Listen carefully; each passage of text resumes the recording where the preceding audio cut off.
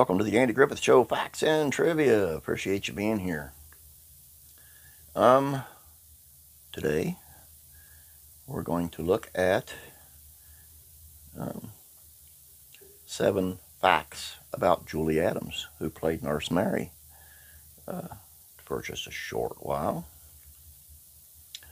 Um, before we get started, ask you to please subscribe. Ask you to please share these on Facebook.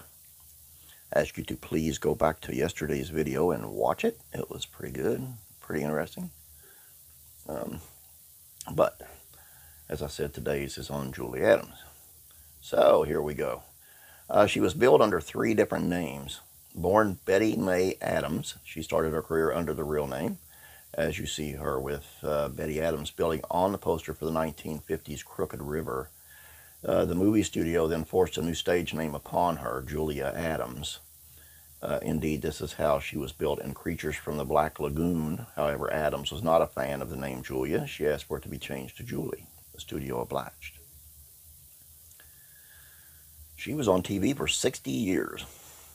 Betty Adams made her debut in 1949 in the early television program Your Showtime, an anthology series that adapted works of literature. Six decades later, in 2007, you could spot her in an episode of CSI, NY uh, Boo.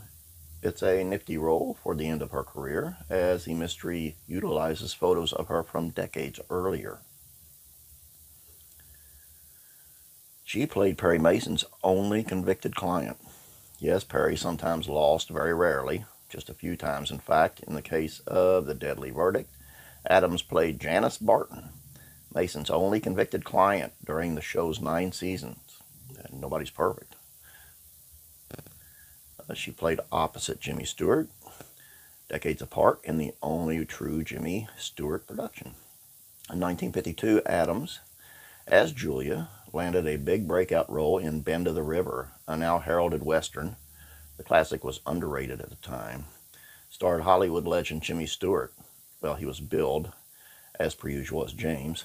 Two decades later, the pair reunited for Jimmy Stewart Show, a sitcom about an anthropology professor.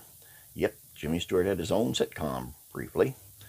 Uh, it was only uh, it was the only film or television role in which Stewart allowed himself to be billed as Jimmy. Um, Adams played his wife.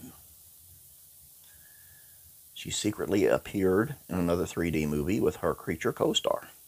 Creatures of the Black Lagoon turned Adams into a true scream queen and horror icon in 1954.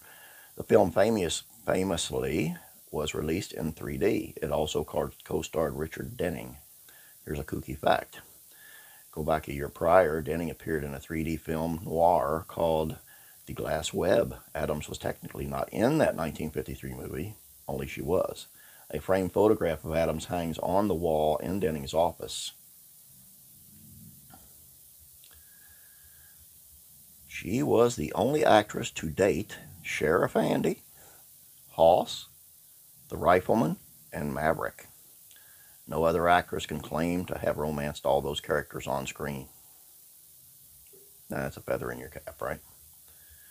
Her swimming double was a mermaid. Not a real mermaid, but uh, Ginger Stanley, the stunt double who performed the underwater bits and creature from the Black Lagoon, worked as a mermaid at the famed uh, Weeki Wachee Springs amusement attraction in Florida. Unlike Adams, Stanley also worked on Revenge of the Creature in 1955, although she went uncredited again. And, folks, that's all I got for you today. I did want to let you know, in case you do not know, uh, the app, uh, the television app on your smart TV or on your Roku or on your Fire Stick, Pluto. Andy Griffith Show has its own channel it's Andy Griffith Show 24/7 over there, and it goes from first from the first episode to the last uh, in a cycle. So it, you know uh, it's it's live, so you can't pick and choose, but uh, it's really neat. I've been watching a lot of it lately. So Pluto TV, look that up and and and get it. It's free, and uh, enjoy some Andy 24/7. Have a great day. We'll catch you tomorrow. Don't forget the trivia uh, question on the page And don't forget to subscribe before you leave, and please share these when you get back on Facebook. Appreciate it. Have a great day. God bless.